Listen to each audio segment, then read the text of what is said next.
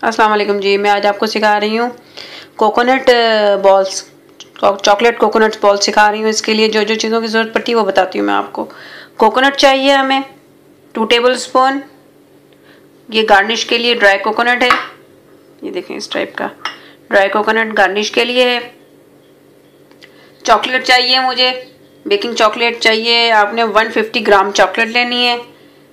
और ये गार्निश के लिए मेरे पास चॉकलेट चिप वो हैं स्प्रिंकल्स हैं और ये मल्टी कलर के स्प्रिंकल्स हैं हमारे पास।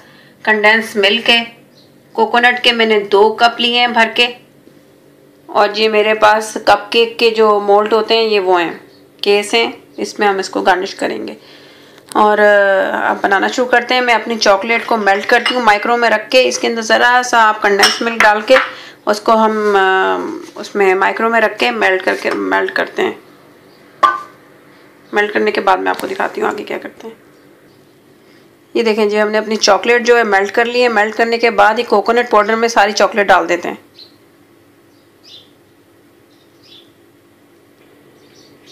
सारी चॉकलेट डालने के बाद इसके अंदर आप बाकी चीज़ें डालना शुरू करते हैं। हम अपना कोकोनट कोको पाउडर है हमारा, जो ये डाल देते हैं। डालने के बाद इसके अंदर हम अपना, ये जो हमारे पास कंडेंस मिल्क है कंडेंस मिल्क आपने इसमें इतना डालना है कि ये बाइंड हो जाए, बस इतना डालना है हमें ना। शुगर फ्री लेंगे तो आप इसके अंदर चीनी ऐड कर लीजिएगा हाफ़ कप और अगर आपका कंडेंस मिल्क शुगर का है तो वो उसमें फिर आपको ज़रूरत नहीं है ऐड करने की।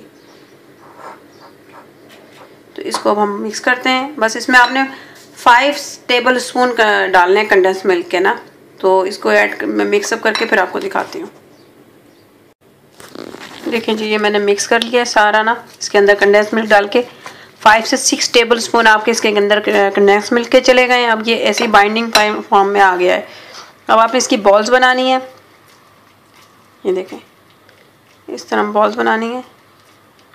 इसको बना के ज़रा सी देर मतलब दस मिनट मैक्सिमम आप इसको फ्रिज में रख दें। ये देखें, इस तरह बॉल्स बनाने के बाद इसे कोकोनट में डिप कर रहे हैं हम। फिर इसको, इसके ऊपर रख दिया। फिर बॉल बनानी है आपने।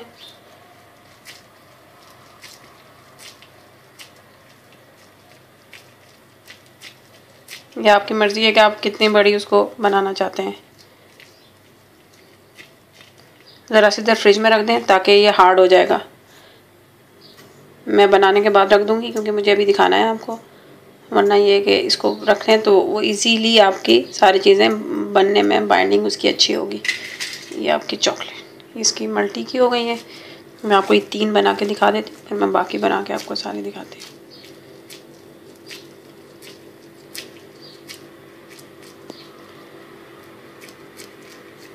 करने के बाद अब चॉकलेट्स के उसमें डाल देते हैं स्प्रिंकल्स में।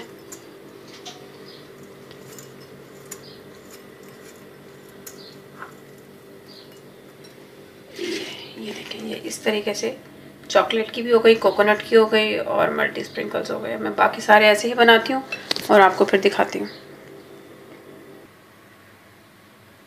जी, ये देखें, मैंने इसको ना गार्निश कर लिया कोकोनट से।